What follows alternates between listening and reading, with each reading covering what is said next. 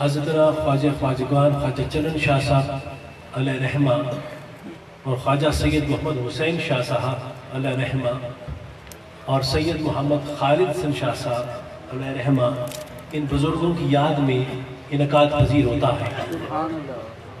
जब मैं अंदर बैठा था तो नकीब महफिल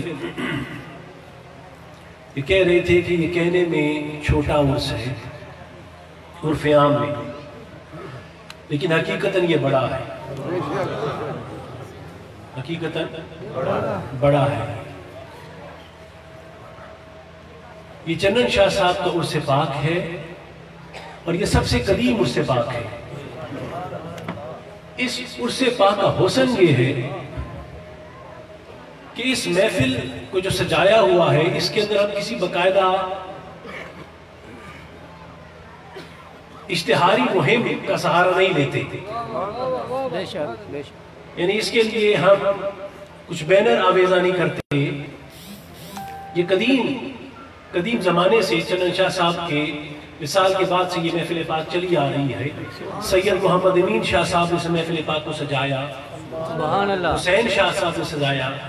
और आप में से अक्सर ने देखा कि यहाँ पर जब ये इमारत पुरानी थी ये छोटा सा दरबार था ये सामने ग्राउंड नहीं होता था। तो महबूब पंचतन यहाँ पर बैठते थे। अल्लाह आपके साहबजादगान आपके दाएँ बाएँ तशरीफ़ फरमा होते। और ये महफिल पाक अपने पूरे रूहानी जोबन के साथ इनका पजीर होती थी। आप जैसे अक्सर पुराने दोस्त इस बात का मैं भी छोटा होता था मुझे भी वो खूबसूरत लम्हात याद है जबकि आलम तशीफ फरमा होते। और अपनी नज़रों से तवजुहात से सबके कल्ब हाल को मुतार मुनफर और मुतर फरमाते थे। तो ये महफिल पाक के लिए बाकायदा इसका हुसन मैं अर्ज़ कर रहा था कि इसका हुसन ये है कि इसके अंदर बाकायदा कोई इश्तिहारी मुहिम का सहारा नहीं लेते। आपने देखा, यहाँ पर कोई आपको किसी किस्म का बैनर आपको किसी किस्म का कोई इश्तिहार नज़र नहीं आता। क्योंकि चंदन शाह साहब ने फरमाया कि जो मेरी तरफ़ आएगा, वो कलबी तौर पर ही मेरा इश्तिहार बन के आएगा। माशा आपकी ज़ात पाक का ये खसूसी एजाज है कि आज दूर दूर से लोग खींचे चले आते हैं। और मेरा ये अकीदा है कि चंदन शाह साहब की निगाहें इंतखाब खुद मुंतखब करती है। बेशक बेशक। किसको बुलाना है किसको नहीं बुलाना ये भी कमाल है आपके फेस। इसमें कोई शक नहीं है कि चंदन शाह साहब के बाद ख्वाजा सैयद मोहम्मद अमीन शाह साहब से इस आस्थाने को जो रूहानी अरूज मिला और जो फैज आम हुआ वो अपने बाप से भी बढ़कर था। यानी सैयद मोहम्मद अमीन शाह साहब रहमा की निगाह ने आपके फ्यूज बरकत ने जो काम किया आपकी जो खदमात थी वो आपके वालद बुजुर्गवार से भी बढ़कर थी। कि इसमें भी कोई शक नहीं है लेकिन आप अपने बाप के कलोते साहबजादे थे। और जारी बात है बाप की तरबियत का ही असर था कि फैज इस अंदाज से आगे चला बढ़ा।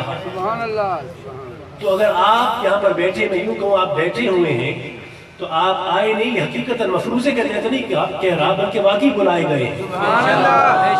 आप किसी दोनों को कहा होगा कि भाई आओ मंगल बुध वहाँ पर बैठता हूँ। कुछ देर की गुफ्तगु होती है उस दौरान क्या देता हूँ अच्छा व्यूर्स है आप आ जाना। ऐसी होता है ऐसी होता है ना।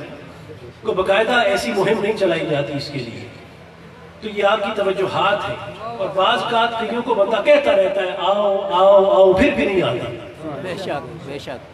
तो वो आते नहीं है दर हकीकत उनको बुलाया ही नहीं जाता। ये क्या कि उनको बुलाया ही नहीं जाता। अक्सर ऐसे हैं, अक्सर ऐसे जिनको लाख फ़ोन किए और लाख पैगाम भी भेजते हैं कि आप आ जाए।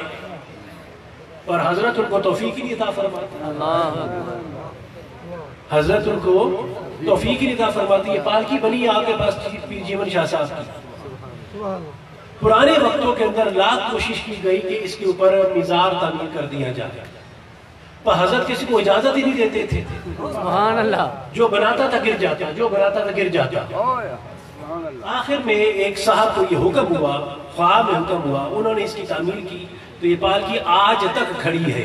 इसको तकरीबन 300 साल हो रहे हैं। अल्लाह 300 साल हो रहे हैं इसको यहाँ पर ये खड़ी है ये पालकी पीर जीवन शाह साहब की।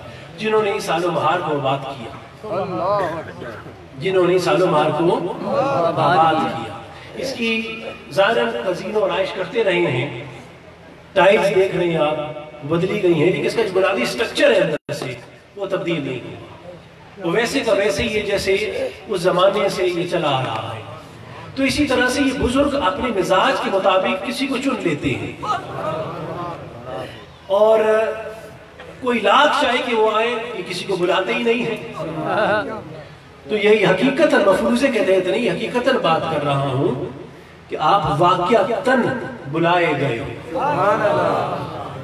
वाक्यतन आप बुलाए गए हो, आप आए नहीं, बुलाए गए हो। अब जब बुलाए गए हो, जब इन्होंने ही बुलाया है तो फिर अपने मेहमानों को खाली दामन कैसे रखेंगे? तो इस सवाल से, हवाले से मुबारकबाद की मुस्तक भी हैं। और दुआ करता हूँ अल्लाह ताला चंदन शाह साहब की फूज बरकत जारी सारी फरमाए। और फिर चंदन शाह साहब का अपना ही ये कहना है। क्या? ये अपना ही उनका फरमाना है कि लोगों के दिए जलते रहेंगे बुझते रहेंगे। चंदन शाह का दिया हवाओं में फड़फड़ाएगा ज़रूर पर कभी बुझेगा नहीं। कभी आप खुद ही फरमाते थे अपनी जबान अतर से फरमाते थे। लोगों के दिए जलते रहेंगे बुझते रहेंगे। हमारा दिया जलाया हुआ तुम तो तेज हवाओं में शायद थोड़ा फड़फड़ा जाए पर वो कभी बुझेगा नहीं। उसकी रोशनी हमेशा जारी रहेगी। और वो चराग दर चराग चराग दर चराग वो रोशनियाँ फैलाता चला जाएगा ये आप देख रहे हैं ना कमाल। ये सब फैज है ख्वाजा हादी नाम नथियालवी का। हमें फख्र है। हमें फख्र है कि हम हादी नामदार नथियालवी के मुरीद हैं। हमें फख्र है इस बात वो तो बहुत बड़े थे हम तो उनकी घोड़ी के मुरीद हैं। इसी आलम बहार के अंदर चंदन शाह साहब अपने पीर की घोड़ी की खुरली के अंदर बैठकर ताबड़ा पकड़कर पीछे खड़े रहते थे कि मेरे शह की घोड़ी की जो लेद होती है वो भी ज़मीन पे न गिरे घोड़ी हिनहनाती थी तो चंदन शाह का कल्ब चलता था। दाएँ बाएँ सादात के घर है। उस वक्त बच्चे मज़ाक करते थे। दीगर देखो सैयद होकर अवानों को पीर पकड़ लिया। अवान पठानों को पीर पकड़ लिया। सैयद है और अवानों पठानों को जाके पीर पकड़ लिया है। तो मज़ाक करते कि शाह जी पागल हो गए दीवाने हो गए ये रोते थे। रात को गरिया करते थे। चलो शाह साहब की बात कर रहा हूँ। रोते गरिया करते थे। अब घोड़ी को पाला। अब जब तकलीफ़ आती है तो माँ बाप याद आते हैं। और हकीकी वाली वारस तो वही थे जिन्होंने कल को बेदार किया था। ऐसे ही है ना? तो जब शेख आए तो घोड़ी पेश की। घोड़ी बच्चा थी जब इन्होंने लेके आए थे तो अपने मुर्शिद पाक को घोड़ी पेश की। हजूर ये आपकी घोड़ी तो घोड़ी तवाना हो चुकी थी बढ़ चुकी थी। उसकी चमक चमक देखकर हादी नाम नथियालवी ने फरमाया वाह वाह शाह। आप फरमाते मेरे दिल का एक पर्दा उठ गया है हिजाब उठ गया अल्लाह अकबर। लतीफ़े कल्ब की सैर हो गई। फरमाते हैं कि फिर घोड़ी पर सवार हुए। आदि नाम नथियालवी फिर फरमाते हैं वाह शाह। फरमाते हैं फिर हिजाब उठा दिल अल्लाह फरमाते हैं। फिर फरमाते जब घोड़ी चली तो हर कदम पे कहते जाते थे वाह शाह जी वाह शाह वाह जैसे घोड़ी चलती चली जाती थी चंदन शाह फरमाते हैं कि मेरे दिल के हिजाबात उठते चले जाते अल्लाह अकबर अल्लाह अकबर। तो घोड़ी घोड़ी से जो फैज आया और घोड़ी हिनहनाई तो जो चंदन शाह का कल्ब चला तो इन्हें लताइफ कल्बी को तय करने के लिए उसकी सैर करने के लिए सालों की ज़रूरत नहीं पड़ी। बस एक साथ के अंदर हज़रत ने फरमाया वाह शाह जी हाय हाय तो सातों लताइफ कल्बी उसी वक्त तय करवा। जो है आप अल्लाह अकबर सुबहान अल्लाह तो जो है तमाम लताइफ कल्बी की सैर उसी वक्त फरमा दी। फिर जब आप बैठे क़याम फरमाया तो वो जो बात थी कि लोग मज़ाक करते थे तो अर्ज़ किया, हजूर बच्चे मुझे रोने लगे अपने शेख के कदमों में गिर कर रोने लगे, गरिया करने लगे चंद्र शाह आप फरमाते शाह जी, क्या हुआ? आपकी पोटोहारी जबान थी, अब वो मैं बोल तो नहीं सकता। हाशमी साहब बोल सकते होंगे। तो वो फरमाते हैं कि, शाह जी, क्या हुआ? काजूर ऐसे ऐसे बच्चे मज़ाक करते हैं, मैं आपकी घोड़ी से बालता था। तो हादी नाम नथियादी को जोश आया। अब आज में जोश में फरमाते हैं कि शाह जी परेशान मत हो, घबराए मत। ये हादी नामदार का आपसे वादा है कि इनकी नस्लों की नस्लें भी आपकी गुलामी करेंगी। अल्लाह सुभान अल्लाह सुभान अल्लाह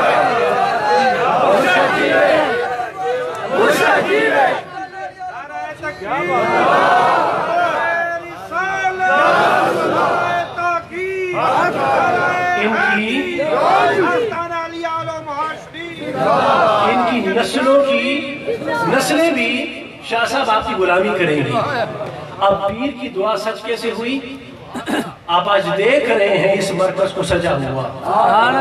हादी नामदार की दुआ किस कदर जवान हो चुकी है और तनावर दरख्त बनकर फल फूल देख रही है और दे रही है और आप उसका मज़ा चख रहे हैं और जितने दाएँ बाएँ हैं वो सभी इस दरबार की गुलामी पे लगे हुए हैं। मुझे कोई मुबारक नहीं। में। बरसरे मिंबर कह रहा हूँ। बरसरे मिंबर ये कह रहा हूँ दावा कर रहा हूँ। कोई है इस बात का इनकार करने वाला? उठ के आए और इनकार कर दे मुझे यहाँ रोक दे कि मैंने जो कहा गलत कहा। ये हादी नामना हथियारी की जात तो बहुत बड़ी है बहुत बुलंद अरफा जात है। हमने तो उनकी घोड़ी की खिदमत की उसी से फैज हो गया। तो पीर के तबरकात किस हद तक फैज रसा होते हैं, ये फैज देते हैं। या आपने असर देखा हादी नाम नथियालवी के हवाले से, और चंदन शाह ने किस तरह से फैज लिया? और चंदन शाह साहब के एक मुरीद, अब देखिए मैं करामत को आपने मेरे अंदाजे बयान को देखा होगा। मैंने कभी भी मेंबर बैठ कर अपने बुज़ुर्गों की कभी बात नहीं की। अगर की है तो मुझे याद दिला दें मैंने तबलीग के दौरान फतबात जुमा दीगर आप उससे बात की महफिल देख लें। मैं हमेशा ज़िक्र मुस्तफ़ा ज़िक्र आल मुस्तफ़ा ज़िक्र साल मुस्तफ़ा यही करता हूँ। अल्लाह। औलिया की करामतें वगैरह इनको बयान करने का आदि नहीं होता। क्योंकि हमारे बच्चे जो होते हैं वो इन चीज़ों को समझ नहीं सकते। उनको वो चीज़ बतानी बतानी चाहिए जो प्रैक्टिकली वो कर सकते अगर करामतों का सहारा लेंगे तो कहेंगे हम तो इस काबिल कर सकते ही नहीं है तो अमल की तरफ़ आएँगे नहीं। तो बेहतर ये है कि प्रैक्टिकली चीज़ को बयान किया जाए जो वो कर सकते जो उनकी ताकत में हो जो उनकी इस्तात में लेकिन ये मैं आपको तो बता, बात बयान करना चाहता हूँ कि अगर आज आए हो तो फिर नीयत कैसी होनी चाहिए? चंदन शाह साहब के एक मुरीद थे जो आपके माल की खिदमत करते थे, ये माल मवेशी होते थे। तो वो देखते थे कि बड़े अरसा हो गया खिदमत करते हुए, और दिल में दिन ख्याल आया कि लोग आते हैं चंदन शाह की बारगाह में बैठते हैं। दो मिनट के लिए जोड़े सीधे करते हैं तो अल्लाह ताला उनके कर्म जारी कर देता है फैज हो जाता है निगाह हो जाती है। अल्लाह कुर्ब मिल जाता है यार का।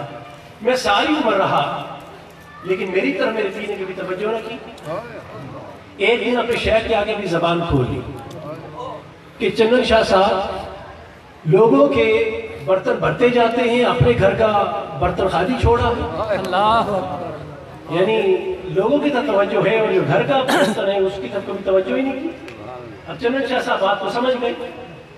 अब ज़ाहिर करामत में ना जाइएगा, इसका जो मकसद है बयान करने का, वो बयान कर, उस उस पर ज़्यादा तवज्जो रखिएगा। एक पत्थर पड़ा था, मैं पत्थर पर निगाह की पत्थर अपनी जगह से हिला, पूरा आपके हाथ में आके गिरा। और मोम की तरह पिघल कर आपकी उंगलियों से निकल गया।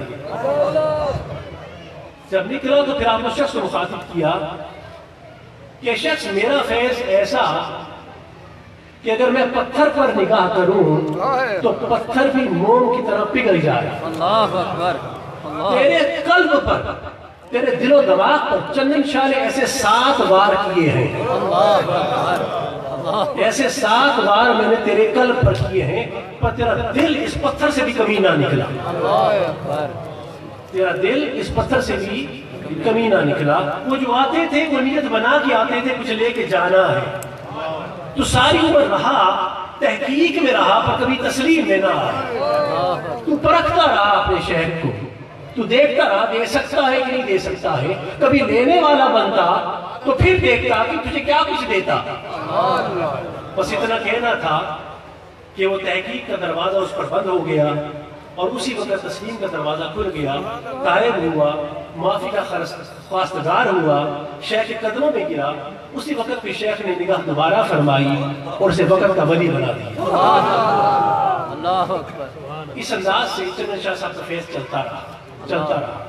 और आज ये चमक दमक सब उनके नाम से ये उर्से पाक ये महफिल पाक ये महफिल मुकदसा अब अगर आज आए हो तो फिर उसकी तरह मत सोचना कि जो कहता है कि कभी अपने घर की तरफ़ तवज्जो ही नहीं की। ये कहने की ज़रूरत क्यों पड़े? ये पढ़नी चाहिए ही नहीं। जो इस किस्म की सोच रखता है? तरीकत उसके मुँह पर एक तमाचा मारती है, थप्पड़ मारती है। क्योंकि हमेशा उसने अपने शेख को, अपने पीर को हमेशा तहकीक की आँख से देखा। जब एक दफ़ा हाथ पकड़ा दिया तो बस बात खत्म हो गई। अब तस्लीम की तरफ़ आ जाओ। और फसानी फरमाते हैं कि अगर फिर भी न जान सका अपने पीर को, और मुमकिन है कि शेख का किरदार ठीक ना हो हो सकता है कि पकड़ा को इलाही के लिए। पर पीर इस काबिल न था। पर मुजद्दद अल फसानी मकतूबात, इमाम रबानी में फरमाते, फिर भी अल्लाह मुरीद को उसकी नीयत के मुताबिक अता फरमा देगा वो उसकी पकड़ जैसे मर्ज़ी करे। अपने शहर की, उस पीर की पकड़ जैसे मर्ज़ी करे वो, लेकिन उसको उसकी नीयत के सच्चे मजूर अता फरमा दे। तो अगर आज आए हो तो फिर तहकीक की आँख बंद करके, तस्लीम की आँख खुला रखें। ठीक और इस मंजिल के लिए जो कुछ कर सकते हो करना। सामान्य सी वक़ात ये महफिल पाक, महफिल मुकदसा चूँकि वक्त असर है, असर की नमाज़ का वक्त हुआ चाहता है। लेकिन एक गुजारिश करनी है, जो आज तक इस अंदाज से खड़े करने की है मैंने आपसे। ये मदरसा, अल्हम्दुलिल्लाह, आप देख रहे इसे काम जारी है। इसके पिलर्स आपने देखा नज़र आ रहे हैं आपको। ये बढ़ चुके हैं। इसका नक्शा भी आपके सामने मौजूद है। अहबाब ने दोस्तों ने जिनको जाती तौर पर मैंने उनसे रबता किया उनके तवसल से चीदा चीदा अफराद के तवसल से ये महफिल पाक की बुनियादी इस्तेमाल हुई और इसके पिलर बढ़ चुके हैं और ये काम जारी है। आप आप, आप अक्सर लोगों ने देखा होगा। देखा है आपने इस तरफ़? देखा जी देखा अब चूँकि जगह बहुत नीची थी।